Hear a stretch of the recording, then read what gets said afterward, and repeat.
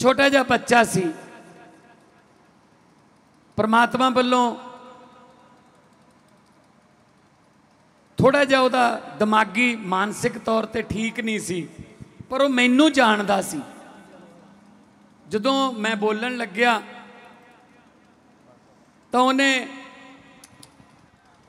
ਆਪਣੇ ਅੰਦਾਜ਼ ਚ ਜਿੰਦਾਬਾਦ ਕਿਹਾ, ਤਾਂ ਸਾਰੇ ਹੱਸ ਪਏ।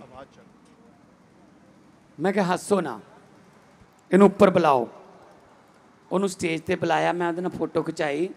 ਨਾਲ ਮੈਂ ਲੋਕਾਂ ਨੂੰ ਦੱਸਿਆ, ਨਾ ਜਾਣੇ ਕਿਸ ਭੇਸ ਮੇ ਨਾਰਾਇਣ ਮਿਲ ਜਾਏ। ਕੋਈ ਪਤਾ ਨਹੀਂ ਰੱਬ ਕਿਹੜੇ ਰੂਪ 'ਚ ਫਿਰਦਾ ਹੈ। ਕੀ ਪਤਾ ਕਮਲਾ ਹੋ ਕੇ ਫਿਰਦਾ ਹੈ। ਕੀ ਪਤਾ ਭੀਖ ਹੀ ਮੰਗੀ ਜਾਂਦਾ ਹੋਵੇ ਨਕੋਦਰ ਵਾਲੇ ਅੱਡੇ ਤੇ। ਕੀ ਪਤਾ ਰੱਬ ਮਜ਼ਦੂਰੀ ਕਰੀ ਜਾਂਦਾ ਹੋਵੇ। ਕੀ ਪਤਾ ਕਿਸੇ ਚੁੱਪ ਬੰਦੇ ਚੋਂ ਬੋਲੀ ਜਾਂਦਾ ਹੋਵੇ? ਕੀ ਪਤਾ ਕਿਸੇ ਬੋਲਣ ਵਾਲੇ 'ਚ ਚੁੱਪ ਰਿਹਾ ਹੋਵੇ? ਕੋਈ ਪਤਾ ਨਹੀਂ। ਸੋ ਅਸੀਂ ਤਾਂ ਸਜਦਾ ਕਰਨ ਵਾਲੇ ਲੋਕ ਆ ਆਪਣੀ ਧਰਤੀ ਤਾਂ ਗੁਰੂਆਂ, ਪੀਰਾਂ, ਫਕੀਰਾਂ ਦੀ ਧਰਤੀ। ਮੈਨੂੰ ਜਦੋਂ ਸ਼ੇਰੇ ਨੇ ਕਿਹਾ ਕਿ ਇਦਾਂ ਕਰਕੇ ਜਾਣਾ ਮੈਂ ਕਿਹਾ ਜਾਣਾ ਮੈਂ ਕਿਹਾ ਵੋਟਾਂ ਨੇ, ਜੋ ਮਰਜ਼ੀ ਹੋਵੇ, ਮੈਂ ਵੋਟਾਂ ਦਾ ਵੋਟਾਂ ਬੂਟਾਂ ਕੀ ਹੁੰਦੀਆਂ ਜੀ? ਇਹ ਬਾਅਦ ਚ ਪੈ ਜਾਂਦੀਆਂ ਹੁੰਦੀਆਂ ਵੋਟਾਂ। ਪਹਿਲਾਂ ਆਸ਼ੀਰਵਾਦ ਲੈ ਲਓ, ਜੇ ਕਿਤੇ ਮਿਲਦਾ।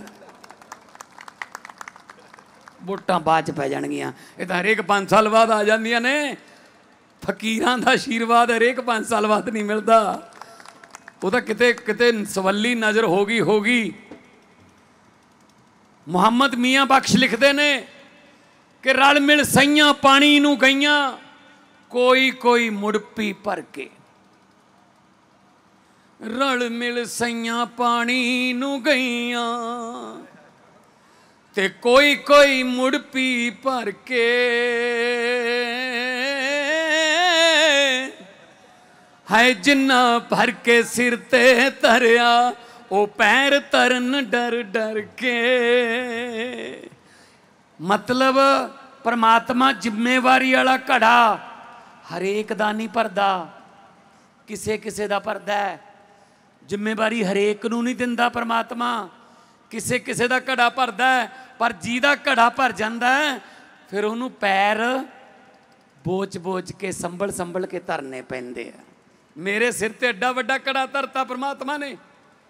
ਪੰਜਾਬ ਦੇ ਮੁੱਖ ਮੰਤਰੀ ਦਾ, ਤਾਂ ਮੈਨੂੰ ਬੋਚ-ਬੋਚ ਕੇ ਸੰਭਲ ਸੰਭਲ ਕੇ ਪੈਰ ਧਰਨੇ ਪੈਂਦੇ ਆ। ਕਿਉਂਕਿ ਮੈਂ ਅੰਨਾ ਤੇ ਤਿਲਕਣ ਰਸਤਾ ਤੇ ਦੇਵੇ ਕੌਣ ਸੰਭਾਲਾ?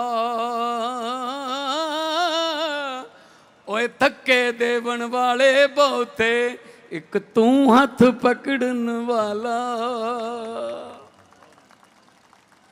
ਸੋ ਬੜਾ ਆਨੰਦ ਆਇਆ ਜਾ ਕੇ ਸਕੂਨ ਮਿਲਿਆ। ਤੁਸੀਂ ਕੌਣ ਹੋ? ਮੁੱਖ ਮੰਤਰੀ ਹੋ, ਕਲਾਕਾਰ ਹੋ ਫੇਮਸ ਤੇ ਕੀ ਹੋ? ਮੈਂ ਕਿਹਾ ਜੀ, ਮੇਰੇ ਵੱਲੋਂ ਤਾਂ ਇਹੀ ਹੈ ਕਿ ਜੇ ਮੈਂ ਦੇਖਾਂ ਅਮਲਾਂ ਬੱਲੇ ਤਾਂ ਕੱਖ ਨਹੀਂ ਮੇਰੇ ਪੱਲੇ। ਜੇ ਮੈਂ ਦੇਖਾਂ ਅਮਲਾਂ ਬੱਲੇ ਤਾਂ ਕੱਖ ਨਹੀਂ ਮੇਰੇ ਪੱਲੇ। ਜੇ ਮੈਂ ਦੇਖਾਂ ਤੇਰੀ ਰਹਿਮਤ ਬੱਲੇ ਤਾਂ ਫਿਰ ਬੱਲੇ ਬੱਲੇ ਬੱਲੇ। ਇਹ ਰਹਿਮਤਾਂ ਨੇ ਫਕੀਰਾਂ ਦੀਆਂ। ਜਿਉਂਦੇ ਵਸਦੇ ਰਹੋ। ਮਿਹਨਤਾਂ ਕਰੋ, ਬੱਚਿਆਂ ਨੂੰ ਪੜਾਓ ਨੌਕਰੀਆਂ ਦੇਣ ਵਾਸਤੇ ਮੇਰੇ ਕੋਲੇ ਕੰਨ, ਪੈਨ ਦਿੱਤਾ ਹੋਇਆ ਹੈ। ਇਹ ਪੈਨ ਤੁਹਾਡੇ ਹੱਕ ਚੱਲੂਗਾ, ਗਰੀਬਾਂ ਦੇ ਹੱਕ ਚੱਲੂਗਾ। ਨੰਬਰ ਲਓ, ਮੈਰਿਟ ਚਾਓ ਕੋਈ ਪੈਸਾ ਨਹੀਂ ਲੱਗੂਗਾ, ਕੋਈ ਸਿਫਾਰਿਸ਼ ਦੀ ਲੋੜ ਨਹੀਂ ਪੈਣੀ।